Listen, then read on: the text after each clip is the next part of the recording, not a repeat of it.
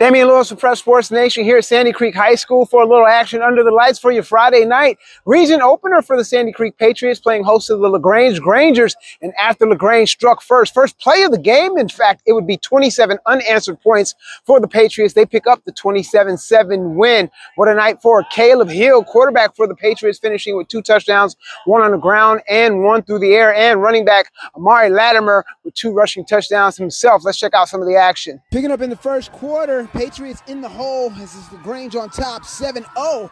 Second and goal for Sandy Creek, and Amari Latimer gonna punch it in for the score. Patriots miss on the extra point attempt, and they trail 7-6. Later in the quarter, another big run here by Latimer up the middle, and then he's gonna bounce it to the outside. And the Grangers got to get him down by any means necessary. And on the very next play, it's going to be Caleb Hill dropping back he sees a lot of real estate, so Hill takes off, dives into the end zone for the score. They go for the two-point conversion and complete it. It's a 14-7 lead for Sandy Creek.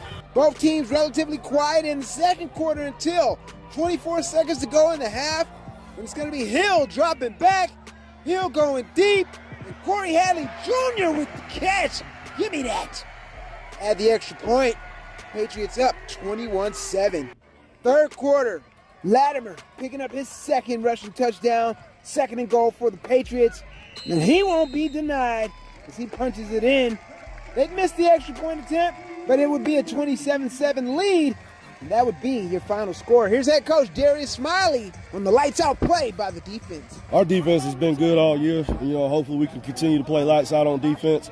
And uh, we just didn't do a good job of tackling tonight, man. And we got to be better. You know, hopefully we can, you know, use this off week to kind of heal up and get some guys back and and uh, continue pushing forward. Offensively, great game on the ground for Amari tonight. Got to be proud of the guys up front, obviously helping him get that done.